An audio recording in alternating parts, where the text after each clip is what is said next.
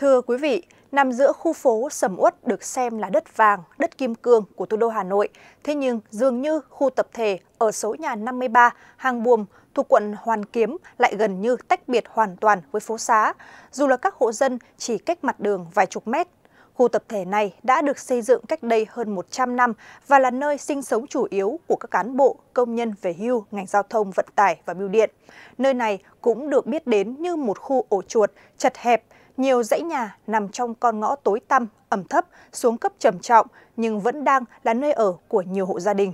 Dù nhiều căn nhà ở khu tập thể này đã từng được mua đi bán lại, thế nhưng cũng có những căn được hỏi mua với giá hàng trăm triệu đồng trên một mét vuông. Nhưng người dân ở đây quyết không bán và vẫn cố bám trụ ở phố cổ. Và vì sao lại như vậy? Mời quý vị và các bạn hãy cùng xem phóng sự dưới đây. Thật khó có thể tưởng tượng được trong một con ngõ chật hẹp, tối tăm như thế này lại có đến 6 hộ gia đình với hàng chục người đang sinh sống. Lối đi vào nhỏ đến mức chỉ vừa một người, vì một phần diện tích của con ngõ đã được những hộ dân ở đây tận dụng để đồ. Tủ gỗ Kệ để đồ Giày dép Ghế hay xô chậu Hàng loạt đồ dùng cũ không biết có còn được sử dụng nữa hay không, nhưng đã đặt kín cả con ngõ. Tối tăm, chật hẹp, bụi bẩn và ẩm thấp là những gì mà chúng tôi cảm nhận được khi vào con ngõ này. Thứ ánh sáng duy nhất ở đây không phải là ánh sáng mặt trời, mà chính là chiếc bóng đèn được bật cả ngày lẫn đêm này. Còn lối ra vào của mỗi hộ gia đình là cánh cửa duy nhất, rộng khoảng chừng 60cm này. Thế nhưng nếu không phải người dân sinh sống ở đây, thì khó có thể phát hiện những góc tối đen như thế này lại là cánh cửa của một hộ gia đình đang sinh sống tại đây. Đây gần như là một ngôi nhà duy nhất trong con ngõ này, có thể đón được chút ánh sáng tự nhiên vào trong nhà. Đó là căn nhà có tuổi đời 100 năm của gia đình anh Nguyễn Trung Trực.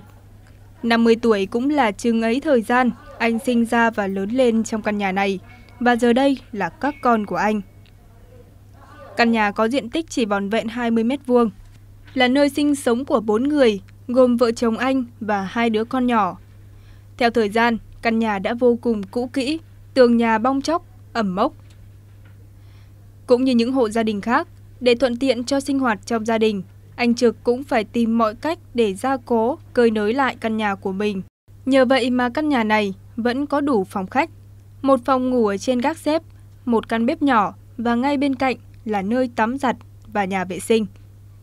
Vì chật trội nên đồ đạc trong nhà được đặt khá bừa bộn. Như vị trí đặt chiếc tivi này cũng được tận dụng để đặt bàn học cho hai đứa con trai của anh. Ở trong không gian chật hẹp ẩm thấp là thế, nhưng dường như thời gian gắn bó với căn nhà đã lâu, nên gia đình anh Trực cũng đã quen với cuộc sống ở hiện tại. Nói chung là trước mắt thì là các cháu nó đương nhỏ thì là mình cũng cảm thấy là bình thường.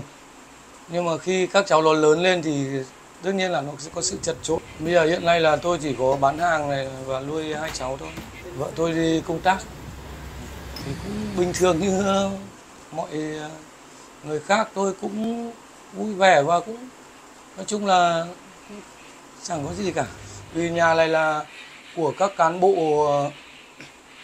của các cán bộ tập kết cho nên là người ta chỉ có những cái ngôi nhà được phân những ngôi nhà nhỏ và để lại cho con cháu thế này thôi dù đã ở đây rất nhiều năm, hơn nữa căn nhà của anh Trực cũng gần mặt đường và thoáng hơn rất nhiều căn nhà sâu trong ngõ. Nhưng chính anh Trực cũng không thể phủ nhận sự cũ kỹ và xuống cấp của căn nhà anh đang ở và rất nhiều căn nhà khác giống như vậy ở trong khu tập thể này. Ngôi nhà này thì thật sự ra là nó cũng hơn trăm năm rồi thì là nó nó xuống cấp là rất nhiều. Không chỉ nhà mình và rất nhiều nhà khác xuống cấp. Có những nhà bục trần, có những nhà thủng sàn tôi cũng sửa nhiều cũng phải gia cố lại đóng từ đóng lại cái trần rồi là tường tiếc là cũng phải làm lại rất nhiều vì là à, sau quá trình là sinh sống lâu năm thì nó cũng hiện nay là nó cũng bị ẩm thấp rất nhiều. Gạch ghiếc là nó bị ẩm hết rồi. Có khi chát bây giờ nó cũng không không bám được vữa nữa vì gạch nó mục hết rồi. Và và và rột thì nhà mình không bị rột nhưng mà nó cũng ẩm và cái trần tường các thứ là từ thời ngày xưa bây giờ nó xuống cấp thì nó cũng uh, sinh ra nhất rất nhiều cái bụi rồi là uh, nói chung là cũng ảnh hưởng đến uh, không khí của của trong nhà. Nhưng mà mọi người vẫn tự gia cố và vẫn tự, vẫn sinh hoạt, sinh sống. Vào sâu bên trong khu tập thể này là con ngõ sâu hun hút, những bức tường ẩm mốc, bong chóc từng mảng, dây điện thì răng mắc chẳng chịt, lại cố định lại thành từng bó to như thế này. Không ai có thể lường trước những nguy cơ gì có thể xảy ra. Vì diện tích của từng căn hộ quá nhỏ nên những khu vực ngoài trời hay gầm cầu thang như thế này cũng được tận dụng tối đa để cơi nới sử dụng. Mỗi mặt bằng hay ngóc ngách trong khu này đều được tận dụng từng cm cho việc chứa đồ đạc. Và những chiếc bàn gỗ, kệ gỗ trông sập sệ này lại chính là căn bếp ngoài trời của những hộ gia đình ở đây. Và tất nhiên cũng như nhiều khu tập thể khác nằm trên đất vàng Hà Nội, những căn hộ ở đây hầu hết không có nhà vệ sinh khép kín. Vì diện tích của các căn hộ ở đây rộng nhất cũng chỉ khoảng 20 mét vuông. Đa số các hộ dân sử dụng nhà tắm và nhà vệ sinh chung.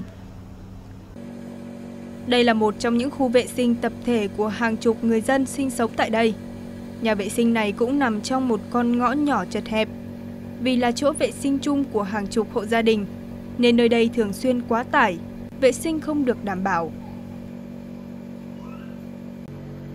Những bể chứa nước như thế này không được lau rửa dọn dẹp, khiến nước tủ động, ô nhiễm và có mùi khó chịu.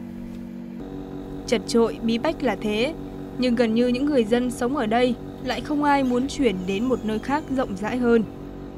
Anh đã từng nghĩ là sẽ bán lại nhà này để để, để đến một nơi khác rộng rãi thuận tiện hơn không? À, tất nhiên cái thuận tiện rộng thì anh muốn nhưng mà cái quan trọng là cái giá nó phải hợp lý và cái thứ ba nữa là căn nhà mình cảm thấy nó đang hợp ấy là nhiều người không muốn bán. Ừ. và thà mua thêm chứ còn không bán. Công việc của anh nó thuận lợi mọi thứ nó thuận lợi nó thuận tiện cho mình cho nên là không muốn bán. Ừ. cũng nhiều người vào hỏi nó anh có bán không? Anh không bán. Thì rất là thuận tiện cho anh anh chỉ muốn mua thêm. Tại vì nó thuận tiện dù rằng là ở rất là chật chội và khó chịu có thật. Nhưng mà thực ra nó thuận tiện công việc. Bây giờ là cuộc sống gia đình của nhiều người cũng mong chỉ có thuận lợi thôi có lẽ là cảm thấy nó thuận tiện và thuận lợi cho cả con cả gia đình. Công việc nó cũng được hành thông cho nên là không có ý định gì cả. Ờ, ngôi nhà này là ngôi nhà tình cảm của tôi là, là không tôi không có nhu cầu ờ, không có nhu cầu bán. Ở đây nếu như nhà tôi ở đây là nó rất thuận tiện từ các cháu đi học từ bệnh viện từ mọi thứ thì nó rất thuận tiện. Và cuộc sống của tôi là ngồi ờ, ở ngoài kiếm ăn ở ngoài vỉa hè thì nó rất ờ, thuận tiện cho tôi đấy sáng ra và đến chiều về là nó rất thuận tiện cho tôi cho nên là tôi cảm nhận được như thế là tôi cũng không muốn đi đâu được xem là đất vàng, đất kim cương giữa lòng thủ đô. Vì vậy dù khu tập thể đã xuống cấp nghiêm trọng, thậm chí được coi là khu ổ chuột trong phố, nhưng tất cả người dân ở đây đều không muốn rời đi. Đã có rất nhiều người trả giá mua hàng trăm triệu đồng một mét vuông đất tại đây, nhưng tuyệt nhiên không một hộ dân nào muốn bán. Họ vẫn chấp nhận sống trong một căn nhà chật hẹp, chỉ từ 10 đến 25 mét vuông mỗi hộ, sinh hoạt bất tiện, tường nhà ẩm mốc, mối mọt, bong chóc. Thế nhưng dường như cuộc sống của họ vẫn diễn ra khá êm đềm, khi đây là nơi mà ông cha họ đã để lại. Và quan trọng hơn cả, dù bất tiện, nhưng ở đây chỉ cần bước vài bước là ra đến phố. Vì vậy nhà hỏng đến đâu, họ lại sửa đến đó, không muốn rời đi, dù được trả giá cả trăm triệu đồng một mét vuông.